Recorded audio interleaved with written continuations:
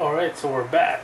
Um, we're, we were looking at this Dell 11 Inspiron uh, 3195, which is new for this year in 2019. And what we're going to do is upgrade this uh, laptop. Uh, but before we do that, let's just kind of review what it has. Um, so it's Windows 10. In S mode, we'll change that to the normal mode. It has 4 gigs of RAM. We're going to upgrade that with this uh, memory stick. It's from Crucial. It's an 8, 8 gig uh, DDR4 2400, 2400 SODIMM. Uh, yeah, so we're going to replace the RAM. It only has one slot. Uh, and although we cannot upgrade the, the storage, we've added an SD card, but we can talk about that later. Um, but yeah, let's. Oh, also, if you run the AMD Radeon settings, it is showing. Um, can I zoom in? No, I can't. It's showing that there's 8 megs of uh, video memory uh, and 4 gigs of system memory. So let's see if that video memory will go up because think that because that's shared, right? Uh, yeah, so what we want to do then is before we start everything is to shut down the computer. And whilst doing that um, let's get prepare our tools here I have the screwdriver. The RAM is here. I think okay we'll use this Pringles cap as a place to put our screws actually let's move this away alright and then let's flip it upside down and what we have are how many screws? One, two, three, four, five, six, seven, eight screws. Uh, got the screwdriver here. Let's just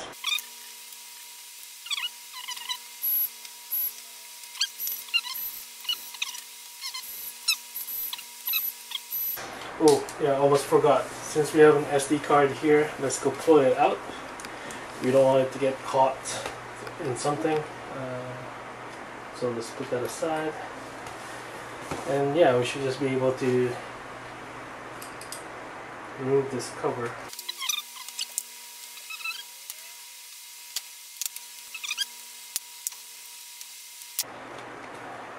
alright now we can get the rest of the screw that's kind of stuck. Alright so what we have here is a lot of empty space. See this massive space here? That's where the hard drive is supposed to be but what's and the memory is in, in this underneath this copper uh, part here so alright so let's go remove some more screws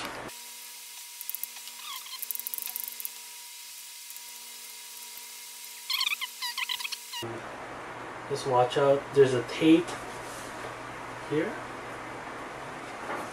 There's a tape here. let's go open it this way.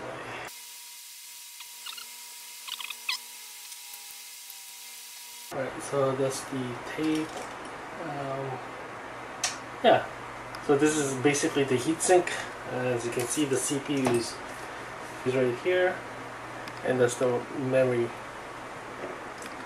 so, is there a plastic thing there? Oh, there is. So there's there's a film on top of it. Um, it's you don't need to remove that. Uh, you can just kind of flip it up, uh, flip it up a little bit.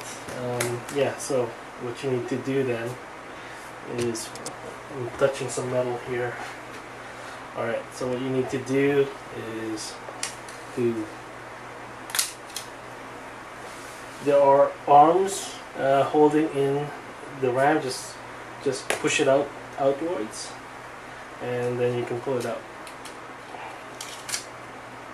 so let's put that aside for now let's go put this in um, Uh, I bought this from Amazon. I'll put a link in the description below. Uh, but yeah, so it always goes one way. Um, so just slide that in. Try not to touch anything else. So,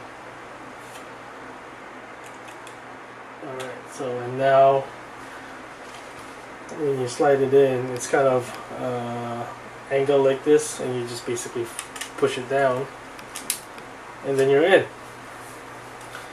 Uh, well, while it's open, let's go take a look. Like I said, there's a massive empty space here. The CPU is right here. Um, you can see the ports, the HDMI, USB 3.1, and SD card is is right on this on the board here. There's a secondary board on on the other side here for the USB 2.0 ports uh, and the um, headset jack. The battery is is here. It's a 28 watt hour battery. Uh, lithium polymer 7.6 volts Interesting. Okay. They could have made this battery bigger by occupying this empty space where the hard drive used to be. And as you can see, there are no ports. There are there aren't any SATA ports to to put in like a traditional SSD drive there. Um, but yeah. You know what? Let's close it up and let's see if it's gonna boot up. Hopefully it does, because I just bought this.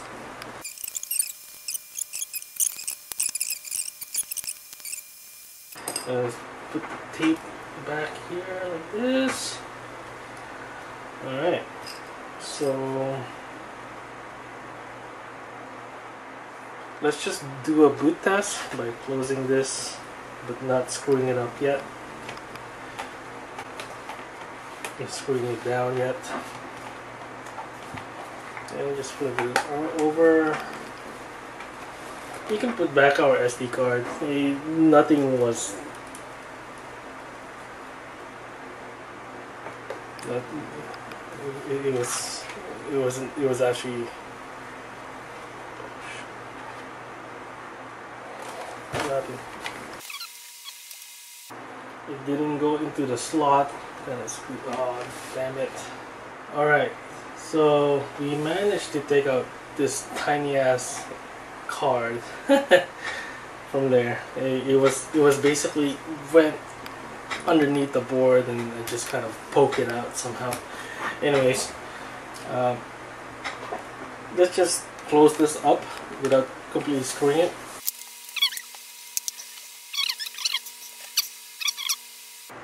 Yeah, see the Dell Alright, so now it's it noticed a memory change. It's like it says warning, memory change. Um, well, let's go look at the BIOS setup, see what it does. Oh yeah, system memory. Uh, there you go. System memory, 8,192 megabytes. So, uh, right. So let's just uh, exit discard changes. We didn't do any changes. Alright, so while it's doing that, let's just close up everything.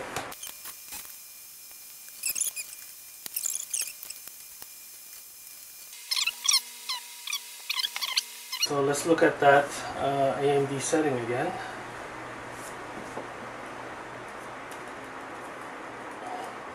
And see if our video memory went up and look at our system, our task manager here. Cool. Alright, so since we doubled our RAM and we were like hovering 20, 50 something percent on idle, now on idle we are at 25 percent as you can expect. Um, much more headroom, uh, definitely.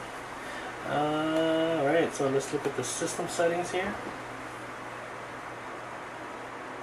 Sweet.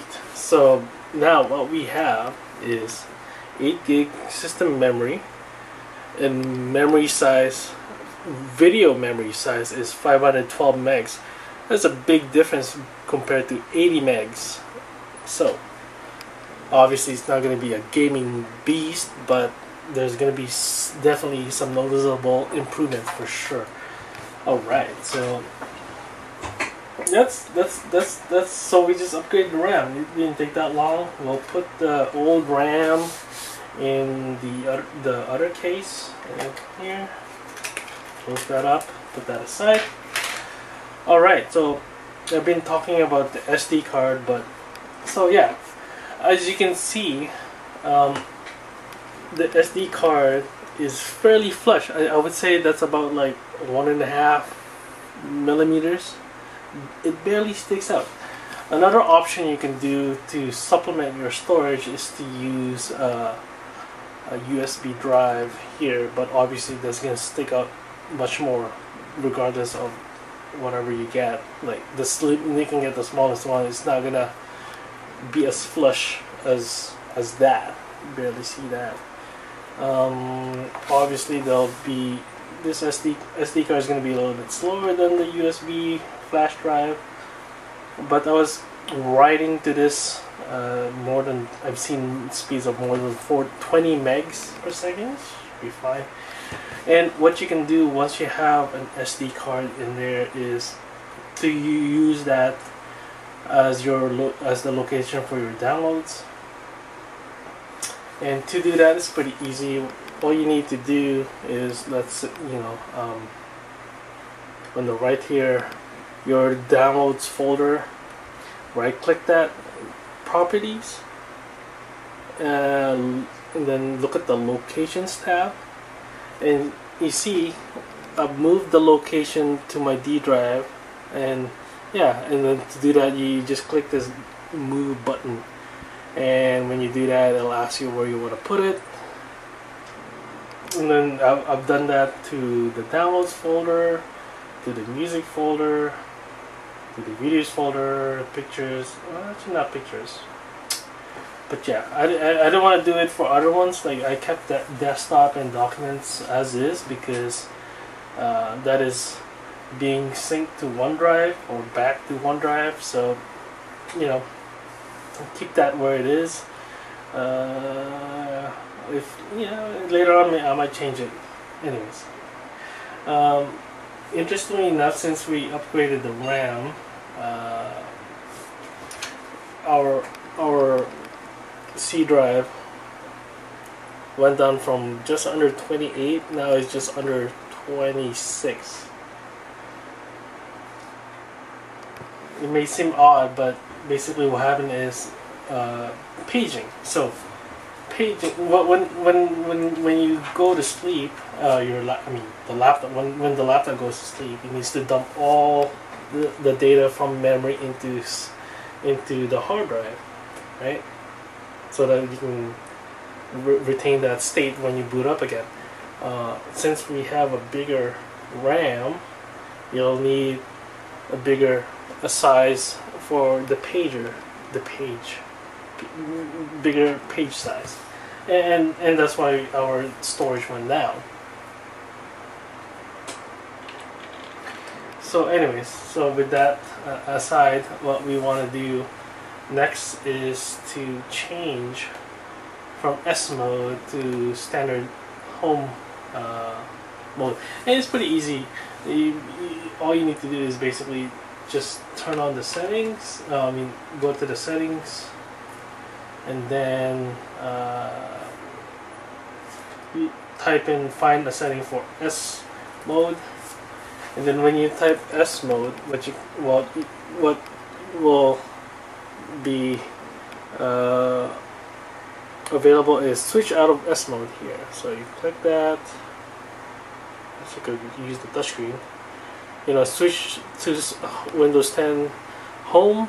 Uh, go to the go to the store to switch to Windows 10 Home.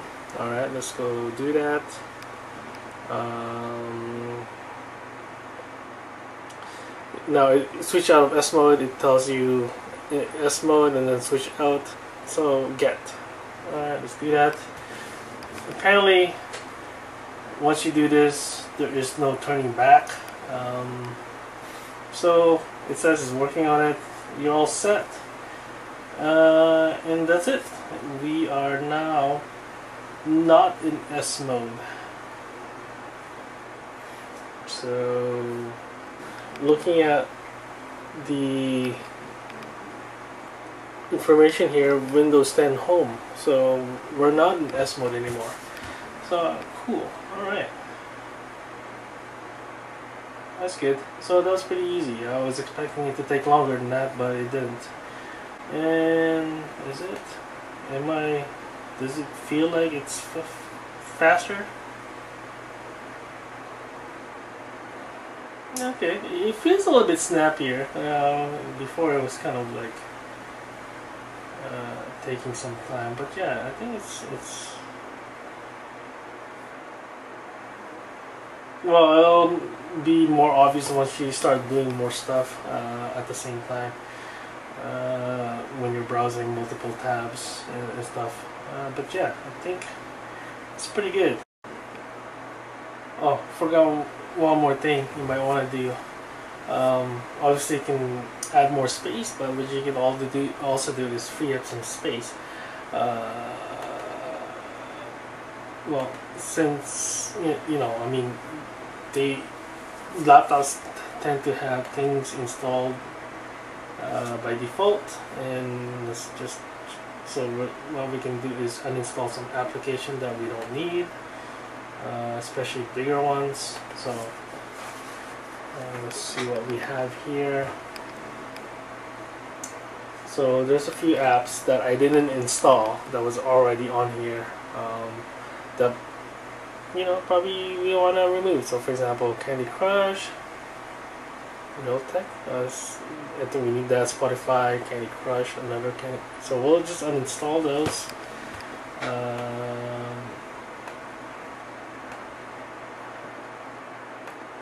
since we, you know, we're not going to use it, not in this computer at least.